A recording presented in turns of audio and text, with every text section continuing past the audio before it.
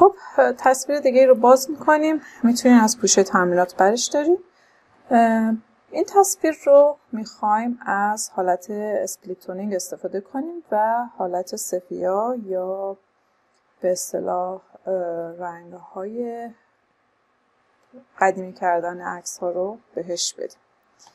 کاری که باید انجام بدیم وارد split toning میشیم.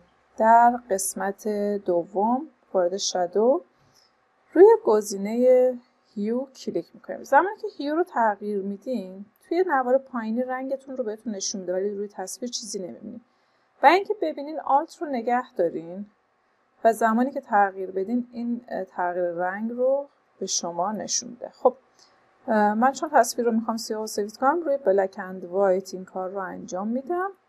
میام تو قسمت black and white mix کمی تنظیمات رو تغییر میدم با ابزار target adjustment tool روشنایی رو روشنتر تیرگی ها رو کمی تیرگی تیره تر و موها رو هم تیره تر کنم تا اون حالتی که می‌خوام ایجاد بشه. خب حالا میریم سراغ split toning پس گفتم Alt رو می‌گیریم تا رنگ مورد علاقه ای که توی کارم دیده میشه رو ببینم به چه صورت خواهد. طبعا برای عکس های سفیا یک حالتی به این صورت رو باید در نظر بگیریم. وقتی که آلت رو بردارم دیده نمیشه. بعد این قسمت سچوریشن قلزت بهش میدیم. هر این قلزتی که بهش میدیم بیشتر باشه اون حالت رنگیمون بهتر میشه.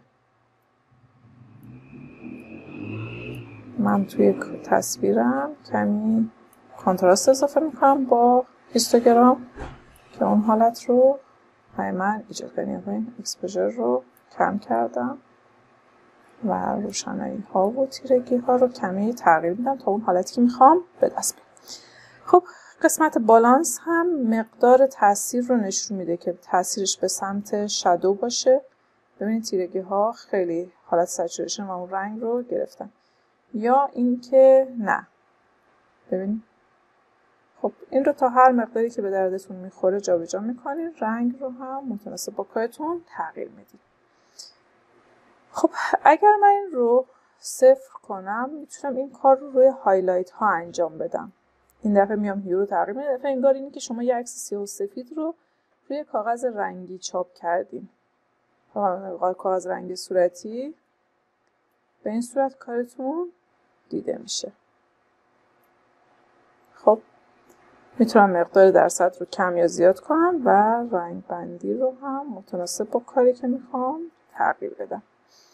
این حالتیه که ایجاد شده توی کارمون و می‌تونیم ازش توی کارهای هنری استفاده کنیم و داشته باشیم.